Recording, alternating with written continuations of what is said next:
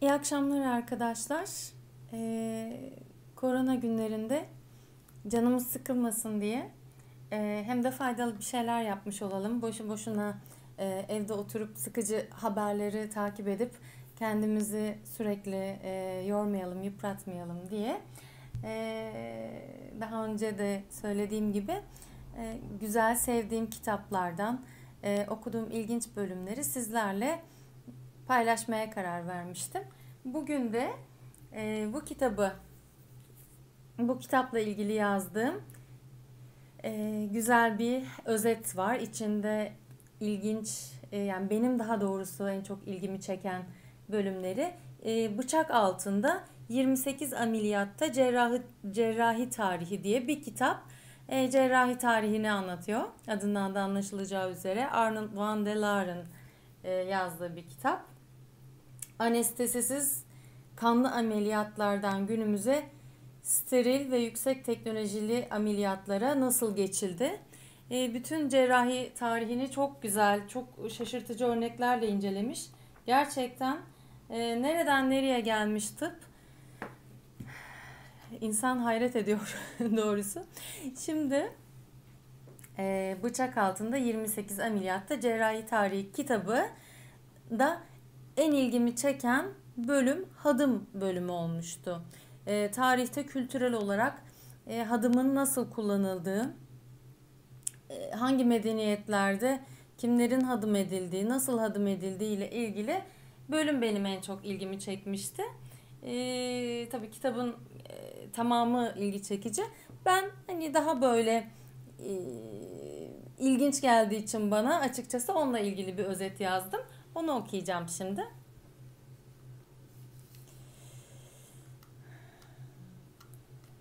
Antik Yunan ve Mısır mitolojilerinde kritik olayların gidişatını değiştiren bir unsur olarak kullanılan hadımın tarihi çok eskilere dayanır. Çin ve Uzak Doğu'da idamın alternatifi olarak kullanılırdı. İranlı krallar illerden her yıl vergi olarak zengin ailelere ait belirli sayıda hadım edilmiş genç erkek alırlardı. O zamanlar Sakız Adası'ndan Panionios adında bir kişi Yunanlılara göre utanç verici olan bu uygulamadan zengin olmuştu. Panionios, yerel köle pazarlarından erkek çocukların en güzellerini satın alır, hadım eder ve Anadolu'da fahiş fiyatlara satardı. Kurbanlarından biri harem ağası olarak İran sarayına girmeyi ve Kral Serhas'ın sırdaşı olmayı başarmıştı. Sonunda cerrahından intikam alacak güce ulaşmıştı. Sakız Adası'na dönmüş ve Panion, Panionios'u kendi dört oğlunu hadım etmeye zorlamış ve sonra da oğullara babalarını hadım etmelerini emretmişti. Harem ağaları Asya, Arabistan ve Doğu Roma'da krallar, padişahlar ve imparatorların saray ve haremlerinde güçlü ve ayrıcalıklı bir gruptu. Ee, bizim de Muhteşem Süleyman'dan bildiğimiz kadarıyla gerçekten son derece güçlü hatta siyasi yaptırım gücüne e, sahip olan insanlar olabiliyorlar. Bu grup genelde diplomat, haznedar, danışman, memur veya general gibi yüksek mevkilerde bulunan nüfuzlu erkeklerden oluşurdu.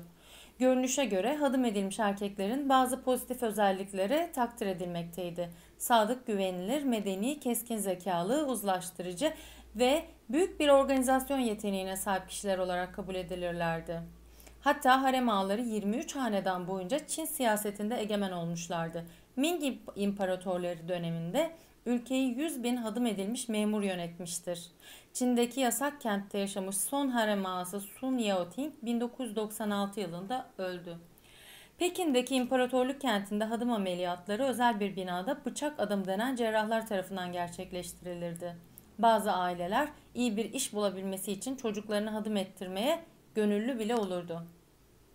Kuzey Afrika'daki aktarma limanlarında köle tüccarları Osmanlı padişahları için toplanan Sudanlı köleleri hadım ederlerdi. Açık yarayı da kızgın çöl kumuyla kapatırlardı. Kanama bir gün içinde durmamışsa veya enfeksiyon kapmışsa köle ölürdü. Bizans ve Çin hadımı büyük çapta uygulayarak toplumlarında erkeklikleri alınmış farklı bir sosyal sınıf yaratmışlardı. Bu sınıfın amacı erkek iktidar sahibiyle imparatorluğun bütün azimli erkekleri arasında ve onlarla hükümdarın kadınları arasında güvenli ancak etkili bir bariyer oluşturmaktı. Hadım etme Roma İmparatorluğu tarihinde de görülen bir ameliyattı. Bizans İmparatoru II. Mikail yalnızca Selefini tahtından indirmekle kalmamış, rakibinin hanedanını sekteye uğratmak için onun dört oğlunu da hadım ettirmişti. Hadımlaştırma yakın zamana kadar istenmeyen cinsel arzuları olan kişiler üzerinde de uygulanmıştır. Tanınmış kurbanlardan biri 1952 yılında İngiltere'de eşcinsel eğiliminden dolayı kimyasal hadımlaştırmaya mahkum olan Enigma kodunun kırıcısı ve bilgisayar mucidi Alan Turing'tir. Maalesef.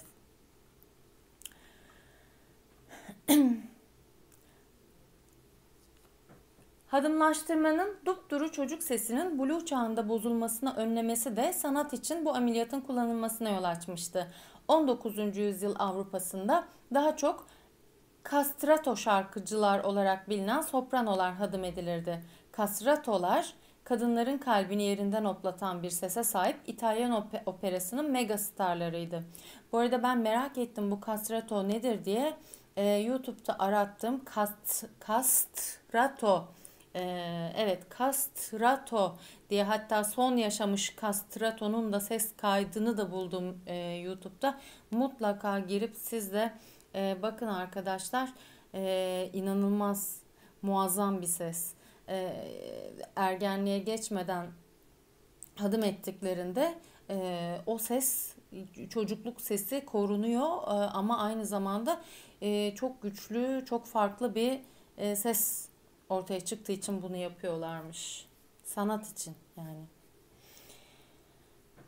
Gelmiş geçmiş en büyük idol Farinelli adıyla bilinen Carlo Broschi'ydi. Kariyerinin zirvesinde sesi doğudan daha yükseğe çıkabiliyordu. Sesi depresif melankoliden muzdarip İspanya kralı 2. Felipe üzerinde öylesine yumuşatıcı bir etki bırakmıştı ki Farinelli'ye bakanlık bile teklif etmişti. Farinelli'nin filmi de çekilmişti. Belki hatırlarsınız. Onu da izleyebilirsiniz. O dönemde Farinelli'nin başarısından etkilenen binlerce aile erkek çocuklarını hadım ettirmişti.